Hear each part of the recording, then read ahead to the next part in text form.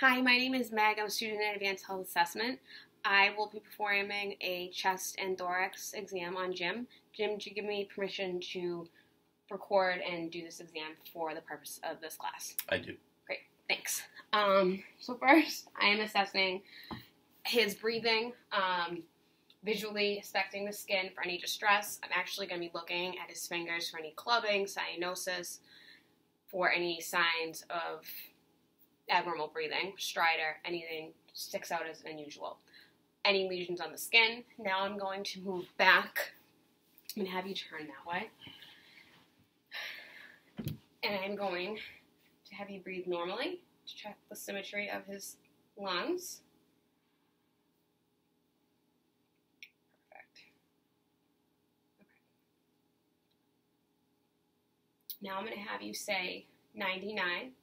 99, 99, 99, 99, 99. That's palpating for tactile 99. parameters. Perfect. Now I'm going to palpate for or percuss for resonance. So we have you breathe normally.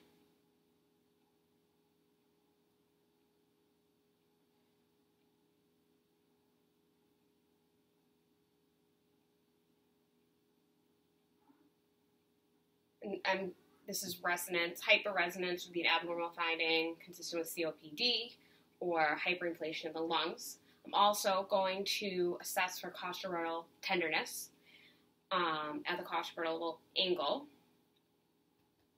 Is that painful? Nope. Is that painful? No. Perfect. Okay. So now I'm going to auscultate the lungs for any abnormal breathing sounds such as wheezing, crackles. Have you breathe normally? Have you just go towards the camera a little bit?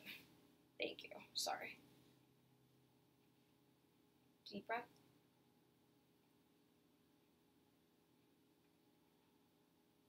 Deep breath.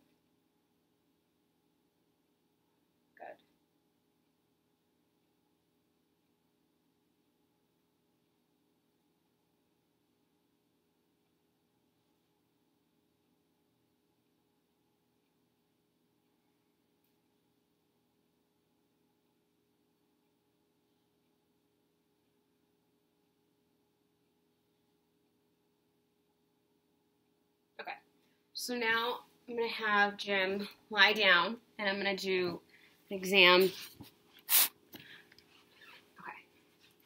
So I'm going to have you breathe through your mouth a little bit more deeply than usual.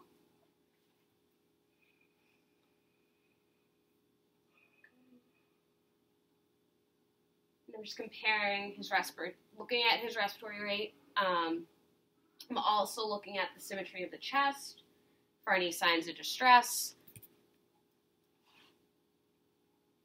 And his posture with breathing. Um, posture can indicate, you know, like barrel chest, abnormal expansion of the lungs, which would be, you can sit back up, an abnormal finding. Um, and that's a normal exam of the chest, thorax, and lungs.